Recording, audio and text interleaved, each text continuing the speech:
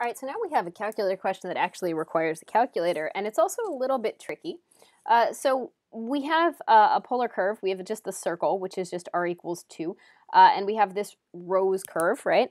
Uh, and we want to find the sum of the gray areas uh, in here. The easiest way to do this, right? The easiest way to do this is to have the area of the full circle, which is just going to be pi r squared, so 4 pi, right? Uh, and then subtract whatever three times one of the petal areas is, right? Like I can find that one petal and I can subtract three of them.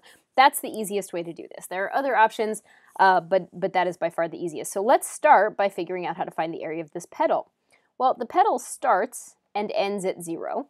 So that's going to be when my radius of 2 cosine of 3 theta equals 0. So 0 equals 2 cosine of 3 theta.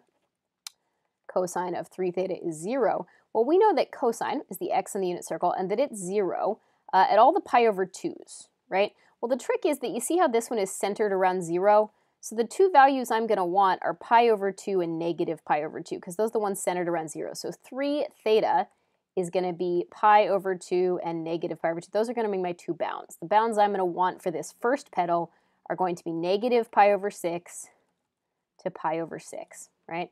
Uh, and it is a calculator section.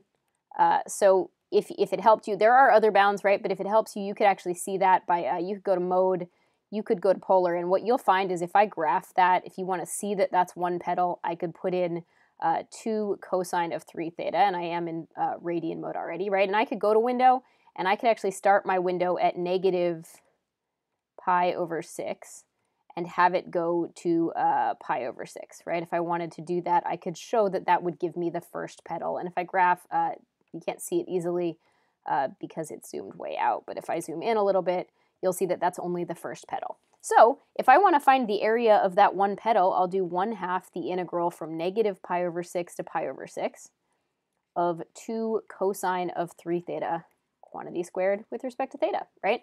Uh, and I can do that in my calculator right now. I already put that in as y1, so I might as well use it, or um, rather as r1, so I might as well use it, but you don't have to be in polar mode, right? You could have called this thing y1 and then integrated in function mode, right? I happen to be in polar mode, so I'll just use it, right? So math 9, vars over to y vars, I want polar, and I called this thing r1 squared with respect to theta from negative pi over 6 to pi over 6. Right, and there you have it. I'm going to get this value. Oh, my bad. I think I used a minus, not a negative. There you go. All right, so I get that this is a 1.047 blah, blah, blah, blah, blah. I don't really care because it's a multiple choice section anyway. I'm going to store that as A. So what I want, my answer is going to be 4 pi minus 3 times the thing I just called A. So 4 pi minus 3 times that area that I just stored as, sorry, hang on, as uh, A. Right, and there we have it, and that's my answer. It's D.